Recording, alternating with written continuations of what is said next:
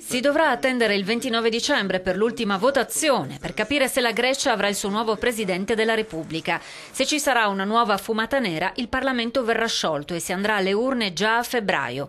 Nel secondo round il candidato del governo, Stavros Dimas, ha ottenuto 168 voti, 32 in meno di quelli necessari per l'elezione del capo dello Stato.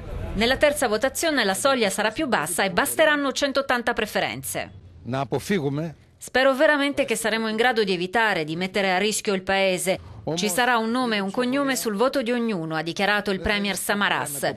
Un avvertimento ai deputati ad assumersi la responsabilità di mandare eventualmente i greci ai seggi proprio ora, con la sinistra di Tsipras favorita nei sondaggi.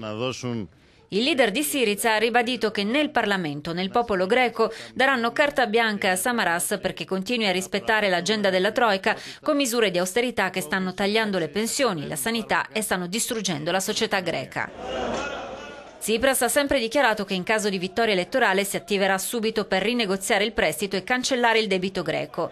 In un mercato ateniese una donna esprime tutto il suo sconforto per la crisi economica e il futuro nebuloso.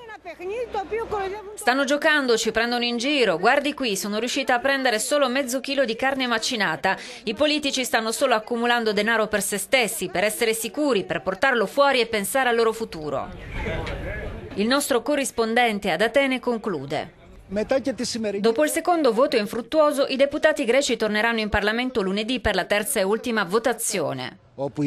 E lì manifesteranno una chiara scelta politica, sia decidendo di eleggere il nuovo presidente, sia mandando il paese ad elezioni. Από την Αθήνα για το Euronews, Σταμάτης Γιαννήσης.